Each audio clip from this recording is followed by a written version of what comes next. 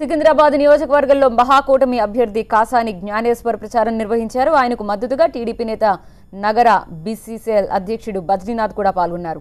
సీతాఫల్ మండి వారసిగూడ ప్రాంతాల్లోని బస్తీలన్నీ తిరుగుతూ కాంగ్రెస్ అభ్యర్థి కాసానికి ఓటేయాలని బద్రీనాథ్ కోరారు.